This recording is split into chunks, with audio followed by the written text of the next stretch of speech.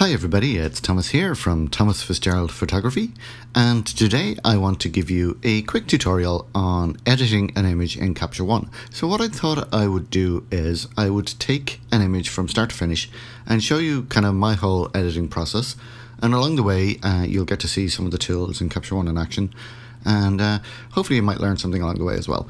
Okay, so I have this image here. It's a it's a landscape image, and I shot it in a local park. There's a nice little waterfall, and this was a long exposure shot. And frankly, it's a bit meh. so when I was there, I kind of had this vision of kind of this moody forest atmosphere, and the result is kind of flat and boring and dull.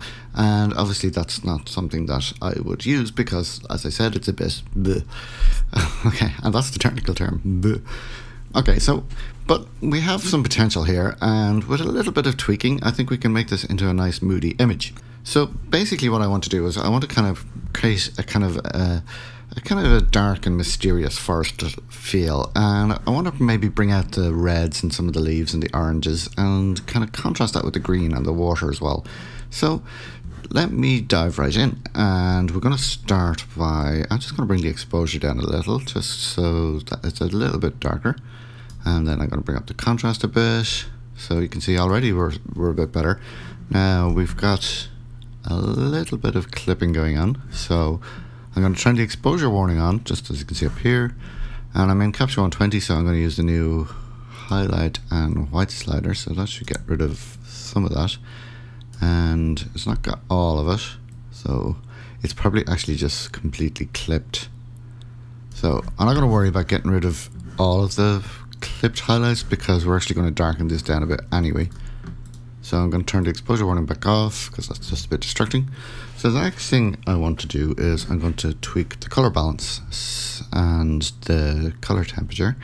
So I'm going to pop over to the color tab and right at the top here we're going to just we're going to warm the image up a bit. So I'm going to bring it up to not too far. I don't want to go too far. So just ever so slightly warming up. And you can see our leaves now are a bit more orange.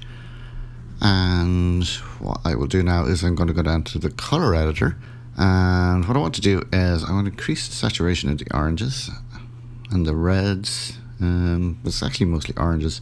And I just want to make these a bit redder as well. So I'm going to drag the hue slider down and there we have some nice kind of we have some nice strong reds going on in the image so that's much more impactful, and we now have a, a, quite a bit of contrast going on here between the kind of orangey reds of the leaves and the water, and then kind of the greens surrounding it. And I'm actually going to tweak the greens as well, so I'm going to go to the green swatch, and we just bring up our saturation a little. Maybe bring the lightness down because we want we don't want the greens to overpower it either. Okay, so the next thing I want to do is I want to create kind of I want to bring the attention into this area here. So I'm going to create a vignette and I'm going to do this in two ways. So first of all I'm just going to use the vignette tool. So if you go back to the exposure tab and down the bottom you'll see vignette. And we'll just drag that down a bit. So that automatically focuses the attention in on the water and kind of this area here. But uh, I also want to kind of just do it in more of an oval shape like this. So, And to do this, we're going to use another layer. So I'm going to, I want a radial um, gradient mask. So in Capture One, if you don't have any additional layers other than the background layer, uh, you can create a new layer just by dragging it with one of the mask tools. Now this only works if you don't have any other layers currently present. Uh, otherwise you have to add the layer mask first because you, if you use one of these tools, you'll overwrite whatever uh, layer is currently selected. So I'm going to drag out the radial gradient like this. Okay, so we just want a nice oval shape and then I'm just going to rotate it and drag it a bit more and then maybe bring it up here a little. Okay, so now we've created our layer and what we want to do is I'm just going to drop the exposure down for this layer. So that's kind of darkening everything in a bit more. Okay, and then I'm just going to go back to our background layer. In fact, I'll label this vignette. Okay, so I'm going to go back to our background layer and I'm going to tweak a few more things. So I'm going to bring up the clarity a little. Okay, and bring up structure a bit as well. So that just kind of gives us a bit of fine detail going on. Okay. So I'm going to go back and I want to do a little bit more tweaking on the colors. So the first thing I want to do is I'm going to use the color balance tool and I'm just going to put a little bit of green into the shadows. Just a small bit. Um, because it just kind of balances out. We were kind of getting a bit overboard with the reds here. Okay. The other thing we have going on here is the water here has tinted slightly yellow because we've warmed the image up a bit and we don't really want that. Uh, what I wanted to do is kind of keep that kind of cool. So I'm going to use, go back to the color editor and I'm going to go to the advanced tab and we can actually just make a selection here. So use this little um, eyedropper icon and just drag it across the water here and you can see that's we've now created a swatch um, with just this selection and all I'm going to do is just drop the saturation of that down so now we, our water is still kind of nice and pure. Okay. And I think maybe it's got a little too dark now so I'm going to go back and just tweak the shadows slightly. So just bring the shadows up a little bit. We don't want too much because then it'll kind of ruin, ruin the whole moodiness. And maybe try the black slightly actually Okay, and then on our overall layer, we can bring the exposure down another little bit, on our vignette layer, I mean, sorry. Okay, so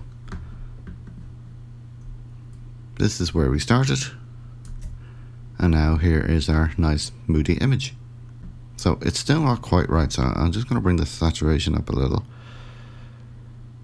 And go back to our color editor and tweak our colors a little more. So go back to the basic tab and go to our orange and I'm going to drag, I'm going to bring the saturation of the red right up and maybe make it a bit more red. I'm trying to find the balance between taking it too far because we don't want it to look too fake. Um, so like if the reds start to get a bit uh, overly saturated, it'll start to look a bit uh, weird. Um, but that's not too bad. Okay, so I'm just, I might have gone a bit too far with the vignette. I think maybe we need just a little bit more green in the shadows. Okay, so that's not bad. Uh, I think that's kind of more or less where I want it. Um, and as you can see, if I just go and show you the before, so there is before, and there's after, you can see it's now a much more atmospheric image and uh, it's a lot better than where we started. Um, and it's one of those things that I'm terrible for keep tweaking things. So like I could be playing around with this for a while until I get it exactly right. Um, I did work on this before, so let me just show you the one that I did earlier in the spirit of all good baking shows. Uh, so more or less the same. Um, I think the brightness levels are a bit different and there's still a bit of green coming on the water, which I kind of like.